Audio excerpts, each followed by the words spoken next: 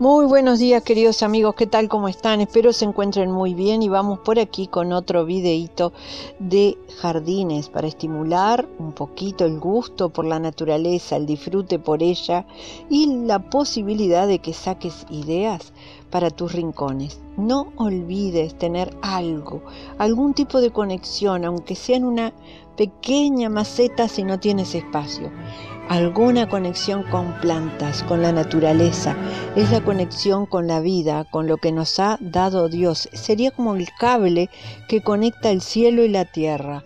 Son las plantas, la naturaleza, lo que ella nos da, la vida que nos da. Te aconsejo que disfrutes primero que nada viendo imágenes, estar en estos lugares. Ya nomás eso aporta a través de imágenes la naturaleza.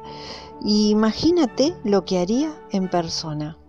Disfruta como puedas, o en tus espacios, en tus rincones, por grande o pequeño que sean, lo que sea. Y si no, ve a algún lugar donde puedas estar en contacto con ella, te lo recomiendo.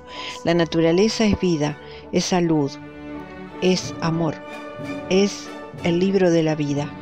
Te deseo lo mejor. Recorre este video hasta el final que tiene mucho para mostrarte. Muchísimas bendiciones y nos vemos en el próximo. Amor para todos. Sean felices, ámense y amen. Hasta pronto.